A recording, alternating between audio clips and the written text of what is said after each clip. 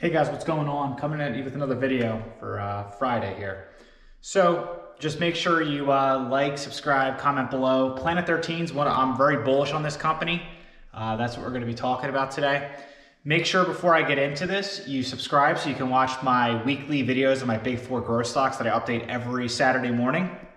So if you're interested in that or wanna see my series, just subscribe. I'll put one out tomorrow and uh, they're doing great this year. I'm gonna continue to buy all year and uh, hopefully you guys like that too. So make sure you subscribe to get to watch that, follow that, and uh, I'm gonna get into Planet 13 now. So Planet 13, uh, ticker is PLNHF. If you don't know what this is, it's in the MJ space. So it's it's really an up and coming you know industry that I think is going to be ridiculously big once federally legal. It's not if it's going to happen; it's a matter of when it's going to happen. I think with the new administration and some things they're saying and you know, really just all the news going on, I could see it being federally legal within the next I think it's going to surprise people. I think it's going to be federally legal within the next year and a half. So, is this a stock you hold forever? So, I really wanted to make this the title because I think really, really, really good companies you never really want to sell. So, this this is a company that is just going to be a beast in the future. So a couple reasons I say that is you got they got to have very good growth, which they're going to have. They got to have a solid management team, which they have. They the the whole team has decades of experience. They're very diverse. They've been successful companies. They just know what they're doing. They you if you look at their projections of what they want to do with the company, they plan on building a ton of superstores throughout the US. They want 10 to 20 stores, probably depends on how fast everything, you know, when it gets federally legal, how much funding they get. Once it's federally legal, you can get big bank funding. So it really depends where you're at and how long that is. So this is why it's so vague uh, 10 to 20 superstores. So I bet you it's going to be more towards the 20 side just because this company is exceeding you know, in my opinion, from last year to this year, and the the growth I have them priced in this year is ridiculous.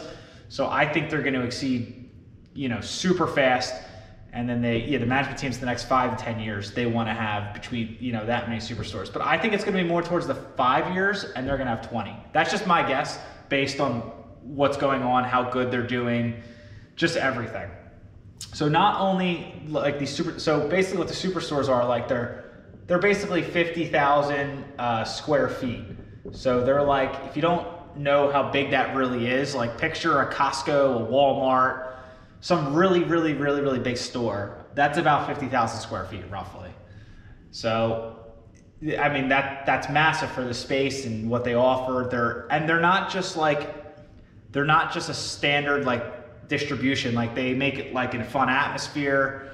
Uh, they own a bunch of they own their own gummies brownies uh, a bunch of other edibles their own mj so why that's so important is because not only do these superstores they can hold a lot and they have a cool environment but they make their own they make their own brand. And they're if you look at the brands like i know one's haha gummies that's like a top three seller in a lot of like you know like that's one of their like top three sellers right so when it's federally legal, guess what they can do? They can distribute their product to other locations or or you know brand, like stores that aren't even there. So just think about the sales and the revenue they're going to pull in when when they can when it's federally legal when they can do that.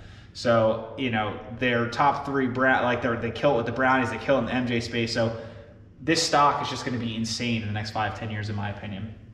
It's obviously still a baby because we're not even federally legal. They have one store now. They're making a superstore in Orange County uh, right now. It should be ready to go Q1 or Q2 of this year.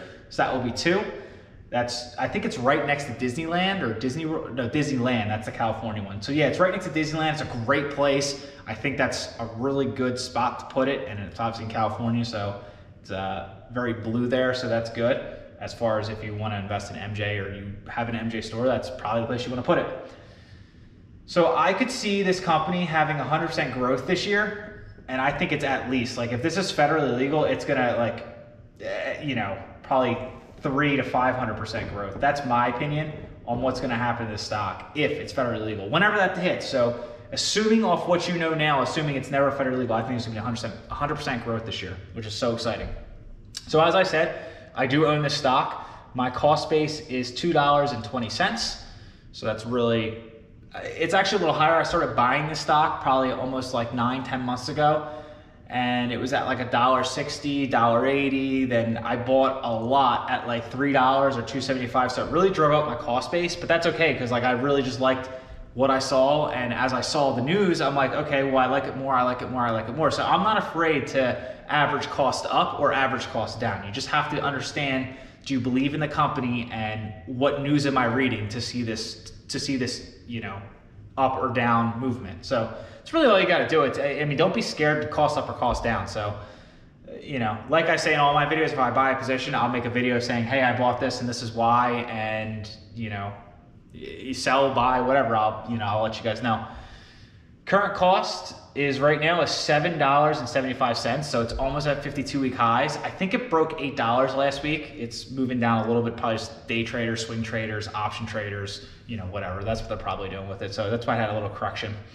People are cool with making, you know, 20, 10% on, on, you know, if you're day trading, like a 10% growth in a day is great or a week, like that's cool. But like I'm up 200 some percent, and I don't care if the stock goes back down to two, I'll buy more. If it goes up to 20, I'm still keeping. I'm, I'm not selling it. So that's the one good thing about being a long-term investor. You really get the premiums of you know your stocks if you really believe in them. So would I buy right now if I didn't have a position in Planet 13 and wanted to build one? Yes, I would buy right now because I think this stock will be over $10 before you know it if there's not like some crazy market correction or super bad news, which I couldn't see any bad news coming from this company. So I would buy right now if you don't have a position. If you do have a position, you got to kind of weigh out the pros and cons of how big it is and how big you want to make it. If you want to make your position bigger, is it a bad buy right now? No. Uh, would I buy right now? No, because my position is so built out. I was actually starting at $1.60, like I said and I was actually buying up to like three or a little under three. So my cost base is 220, but I was doing that to build my position where I wanted to be, if that makes sense. So where would I buy it? If it went under 550 again, I'd be interested in buying more to average cost up again. I don't know if it will go that low with all this good news and this uh, the Orange County Superstore coming out so soon and you know if something really good news happens about things being federally legal i don't know if that's going to happen to be honest. But if it does go below 550 i'm interested in buying it. If you if you yeah i mean that's really it. I mean if you want to write in the comments below if you have any questions about you know if you bought it or where you're at or you want to do this this, this i'd be happy to give you my input on your specific example. Um, i'd be more than happy to, to to voice my opinion to you and kind of tell you what i think you should do so yeah, that's it. That's all I got. Just make sure you like, subscribe, uh, comment below. Like I said in the beginning of the video, tomorrow, if you're still watching this, I'm going to do my four growth stocks that I'm adding all year. So that's kind of cool just watching the gains and what that's doing. So that's all I got. Peace.